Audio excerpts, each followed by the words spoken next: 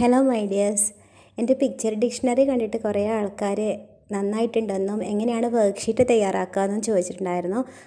അപ്പോൾ സിമ്പിളായിട്ട് ഇങ്ങനെ വർക്ക്ഷീറ്റ് തയ്യാറാക്കാമെന്നാണ് ഇവിടെ വീഡിയോ ഇടുന്നത്. കാരണം അധികം ഇട്ട് കഴിഞ്ഞാൽ വലിയ ലെങ്തി ആയിപ്പോവും അപ്പോൾ വർക്ക്ഷീറ്റ് തയ്യാറാക്കാൻ വേണ്ടിയിട്ട് ഞാൻ ഇവിടെ പുതിയൊരു സോഫ്റ്റ്വെയറാണ് നിങ്ങളെ പരിചയപ്പെടുത്തുന്നത്. ഡബ്ല്യു പി എസ് ഓഫീസ് എന്നാണ് അതിന്റെ പേര്. അപ്പോൾ ഇതുമായി ബന്ധപ്പെട്ട ഡബ്ല്യു പി എസിന്റെ ഒരു ഇൻട്രോ വീഡിയോ ഞാൻ വേറെ ചെയ്തിട്ടുണ്ട്. അത് നിങ്ങൾ ഞാൻ ഇതിന്റെ ഈ വീഡിയോയുടെ ലാസ്റ്റും അതിന്റെ ലിങ്ക് കൊടുക്കാം. ഡിസ്ക്രിപ്ഷൻ ബോക്സിൽ ഇടാം. അപ്പോൾ അതും കൂടെ കണ്ടു കഴിഞ്ഞാൽ നിങ്ങൾക്കിത് നന്നായിട്ട് ചെയ്യാൻ വേണ്ടി പറ്റും. ഇതിൽ ഒരുപാട് ഫീച്ചേഴ്സ് അവൈലബിൾ ആണ്. ഒരുപാട് കാര്യങ്ങൾ നിങ്ങൾക്ക് ഇതിൽ ചെയ്യാൻ പറ്റും. ടീച്ചേഴ്സ് മസ്റ്റായിട്ട് ഡൗൺലോഡ് ചെയ്യേണ്ട ഒരു ആപ്പ് തന്നെയാണ് ഡബ്ല്യു പി എസ് അപ്പോൾ നമുക്ക് എങ്ങനെയാണ് ഒരു വർക്ക്ഷീറ്റ് സിമ്പിളായിട്ട് തയ്യാറാക്കുന്നത് നോക്കാം. അതിന് നമുക്ക് ആദ്യമായിട്ട് W P S office open ചെയ്യാം. ഡൗൺലോഡ് ചെയ്തിട്ടുണ്ട്. ഞാൻ ഡയറക്റ്റ് ഓപ്പൺ ചെയ്യുന്നു. ഈ താഴെയുള്ള പ്ലസ് ചിഹ്നം നിൽക്കുക. അപ്പോൾ ഡോക്യുമെന്റ് എന്ന് പറയുന്ന ഒരു ഓപ്ഷൻ കിട്ടും. അതാണ് നമുക്ക് വേണ്ടത്. അപ്പോൾ അതിനകത്ത് നമുക്ക് ഇഷ്ടമുള്ള ഒരു ലേഔട്ട് സെലക്ട് ചെയ്യാം. ഇവിടെ ഒരുപാട് ടെംപ്ലേറ്റ്സ് ഉണ്ട്. അപ്പോൾ ചിലതിന്റെ മുകളിലൊരു ഡയമണ്ട് ചിഹ്നം കാണുന്നുണ്ട്. ഈ ഡയമണ്ട് ചിഹ്നം കാണുമ്പോൾ അത് പിന്നെ പ്രീമിയം വേർഷൻ ആയിരിക്കും. അപ്പോൾ അത് നമുക്ക് പിന്നെ പൈസ കൊടുത്തിട്ട് മാത്രമേ എടുക്കാൻ പറ്റൂ. അപ്പോൾ ഞാൻ തൽക്കാലമായിട്ട് ബ്ലാങ്ക് ആണ് സെലക്ട് ചെയ്യുന്നത്. നിങ്ങൾക്ക് ഏത് വേണമെങ്കിലും സെലക്ട് ചെയ്യാം. ബ്ലാങ്ക് സെലക്ട് ചെയ്യുന്നു. എന്നിട്ട് എനിക്ക് ആവശ്യമുള്ള കണ്ടൻസൊക്കെ ടൈപ്പ് ചെയ്തിട്ട് ഫസ്റ്റ് വെക്കും. അതിനുശേഷമാണ് ആ കണ്ടൻസിനെ ഞാൻ ഇവിടെ ഫോർമാറ്റ് ചെയ്യുക. ഞാൻ ഫസ്റ്റ് സ്കൂളിന്റെ പേരും വർക്ക്ഷീറ്റ് ഇതൊക്കെ ടൈപ്പ് ചെയ്ത് വെച്ചിട്ടുണ്ട്. അപ്പോൾ അത് ഞാൻ മൊത്തത്തിൽ സെലക്ട് ചെയ്യുകയാണ് അവിടെ എവിടെയെങ്കിലും കേസർ കൊണ്ടുവയ്ക്കുമ്പോൾ നമുക്കത് അതിനെ ഡ്രാഗ് ചെയ്തിട്ട് ആവശ്യമുള്ളത്ര ടെക്സ്റ്റ് സെലക്ട് ചെയ്യാനുള്ള ഓപ്ഷൻ കിട്ടും. അപ്പോൾ ഞാനത് സെലക്ട് ചെയ്തു. ഇനി ഇവിടെ താഴെ മൂന്ന് ലൈൻ കണ്ടോ? അത് എടുത്തിട്ട് എനിക്ക് അലൈൻമെന്റ് സെന്റർ കൊടുക്കണം. സെന്റർ കൊടുത്തു.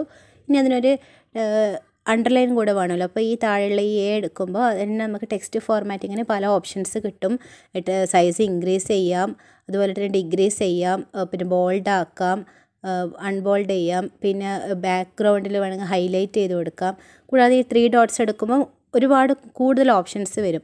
അപ്പോൾ എനിക്ക് അതിനകത്ത് അതിന് അണ്ടർലൈൻ കൊടുക്കണം. അണ്ടർലൈൻ തന്നെ ഒരുപാട് ഓപ്ഷൻസ് ഉണ്ട് സിക്സാഗ് ഒക്കെ ഉണ്ട്. ഞാൻ തൽക്കാലം പ്ലെയിൻ അണ്ടർലൈൻ ആണ് കൊടുക്കുന്നത്. അപ്പോൾ ഇത്രയും കാര്യങ്ങൾ ഞാനിവിടെ ആക്കി വെച്ചപ്പോൾ കുറച്ചുകൂടെ ടെക്സ്റ്റിന് വലുപ്പമാണെന്ന് തോന്നുന്നു. അപ്പോൾ കുറച്ചുകൂടെ അത് ഒന്ന് സൈസ് ഇൻക്രീസ് ചെയ്യാണ്.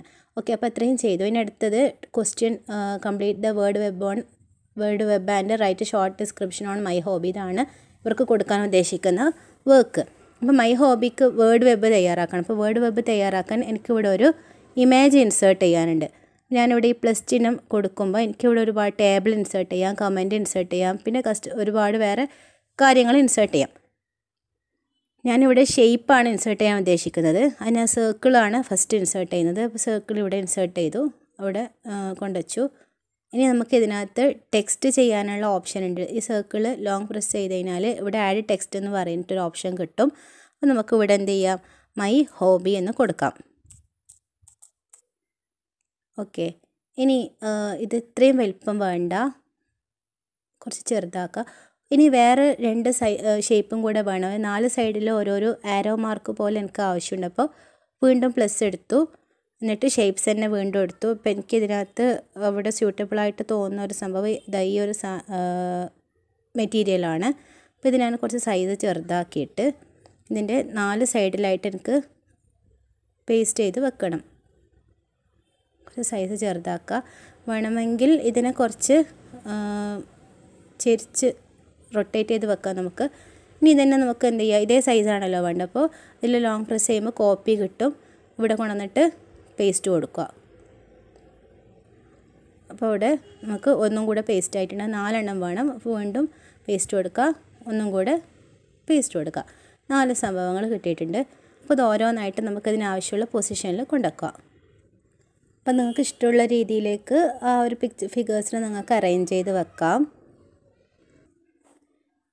ഇനി നമുക്ക് അടിയിൽ കുട്ടികൾക്ക് എഴുതാനുള്ള സ്പേസാണ് കൊടുക്കേണ്ടത്. അപ്പോൾ എന്ത് ചെയ്യുക അവിടെ ഈ നമ്മൾ മൈനസോ അല്ലെങ്കിൽ വേണമെന്നുണ്ടെങ്കിൽ നിങ്ങൾക്ക് എന്ത് ചെയ്യാം? ലൈൻസ് ഇൻസേർട്ട് ചെയ്യാം. പ്ലസ് എടുത്തിട്ട് ഇവിടെ പിന്നെ ഷേപ്സ് എടുക്കുക.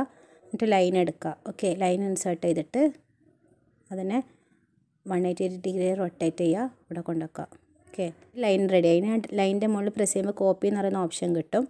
വീണ്ടും പേജിന്റെ ഇവിടെ അങ്ങ് പോയിട്ട് കേസർ വെച്ചിട്ട് പേസ്റ്റ് കൊടുത്തു കഴിഞ്ഞാൽ നമുക്ക് അതിന്റെ തൊട്ട് താഴെ തന്നെ നെക്സ്റ്റ് ലൈൻ പേസ്റ്റ് ആയിട്ട് വരും. അപ്പോൾ അത് എടുത്തിട്ട് നമുക്ക് ആവശ്യമുള്ള സ്ഥലത്തേക്ക് അറേഞ്ച് ചെയ്ത് വെക്കാം. ഇങ്ങനെ ആവശ്യമുള്ള അത്ര ലൈൻസ് ആഡ് ചെയ്ത് കൊടുക്കാം. അപ്പോൾ നമ്മൾ പേജ് ഇപ്പോൾ ഏകദേശം റെഡ് നമ്മൾ താഴെയുള്ള ഈ ഒരു ബട്ടൺ ഉണ്ടല്ലോ അത് ക്ലിക്ക് ചെയ്യുമ്പോൾ ഒരുപാട് ഫോർമാറ്റിംഗ് ഓപ്ഷൻസ് നമുക്ക് കിട്ടുന്നുണ്ട്.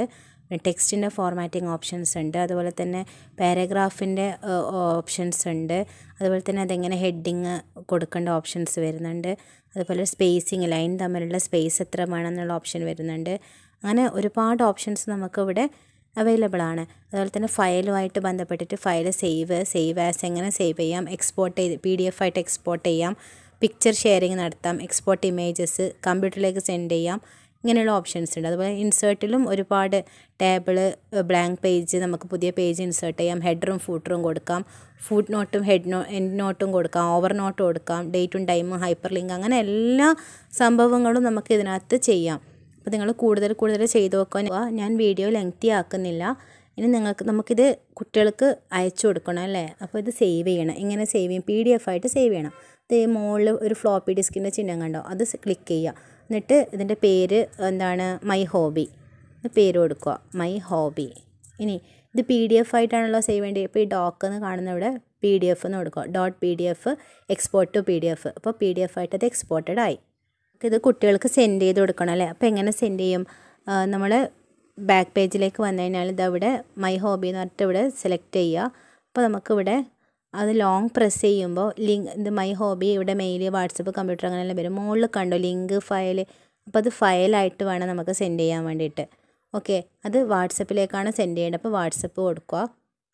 വാട്സപ്പിലേക്ക് അത് ഫയലായിട്ട് സെൻഡ് ആവും ഇതാ നമ്മൾ ആ ഒരു സംഭവം വർക്ക്ഷീറ്റ് ഇവിടെ റെഡിയായി ഇത് ഞാനിവിടെ നിങ്ങൾക്ക് വേണ്ടി കാണിച്ചു തരാൻ വേണ്ടി പോകുന്നു അതാ നമ്മൾ വർക്ക്ഷീറ്റ് ഇവിടെ റെഡിയായി അങ്ങനെ അതിനകത്ത് നല്ല മാറ്റങ്ങൾ വരുത്തിയിട്ട് പേജിന് ബോർഡർ കൊടുക്കാം ലേ ഔട്ട് കൊടുക്കാം എല്ലാം കൊടുത്തിട്ട് നിങ്ങൾക്ക് നല്ല അടിപൊളിയാക്കിയിട്ട് ചെയ്യാം. അപ്പോൾ എല്ലാവരും നന്നായിട്ട് ട്രൈ ചെയ്യുമെന്ന് വിചാരിക്കുന്നു. ഓക്കെ ശ്രമിച്ച് നോക്കിയിട്ട് പുതിയ പുതിയ വർക്ക്ഷീറ്റ്സൊക്കെ നല്ല അടിപൊളിയാക്കിയിട്ട് ഇടുക.